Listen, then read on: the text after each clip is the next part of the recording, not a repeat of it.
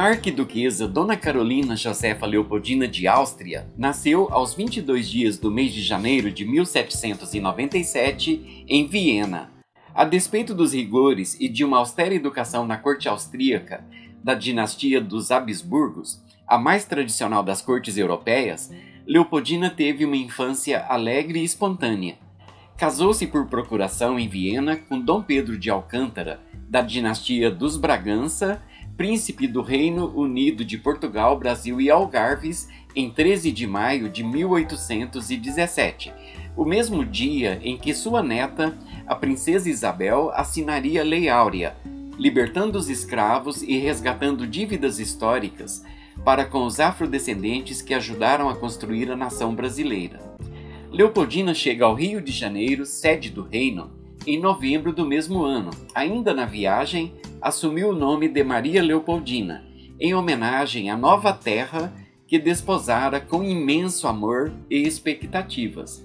Maria Leopoldina deu à luz sete filhos, dos quais dois chegariam a ser monarcas, Dom Pedro II no Brasil e Dona Maria II em Portugal.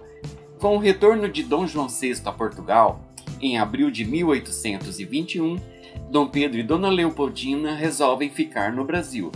A situação política em terras brasileiras era inquietante devido às pressões das cortes portuguesas que estavam convulsionadas pelas demandas da Revolução do Porto. Essas é, demandas da Revolução do Porto desejavam é, ver novamente o Brasil reduzido a mera colônia de Portugal. No movimento de emancipação política do Brasil, Dona Maria Leopoldina, surpreendentemente, assumiu a liderança, orientando os passos de seu marido. Em agosto de 1822, ela ocupava a posição de regente do Reino do Brasil, quando Dom Pedro visitava as Minas Gerais e São Paulo, transformando-se na primeira mulher a assumir o governo do Brasil no percurso de nossa história.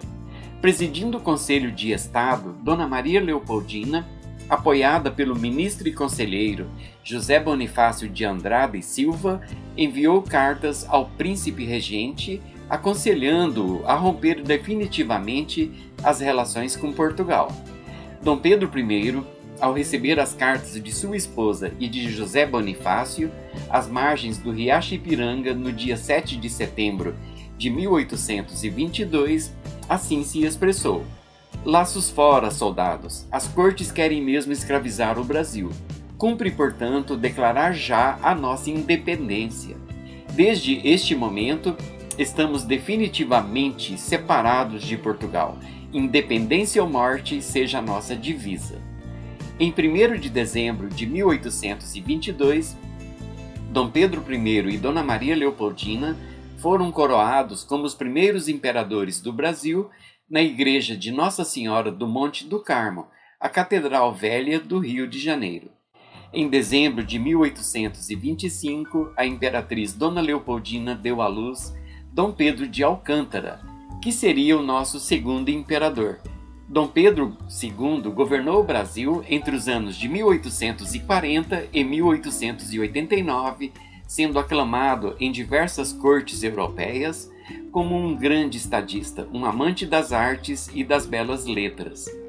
A grande imperatriz acabou falecendo em 11 de dezembro de 1826, vítima de um aborto espontâneo do que viria a ser o seu último filho. A morte de Maria Leopoldina provocou o que se considera o primeiro luto nacional brasileiro, conforme atestam diversos historiadores.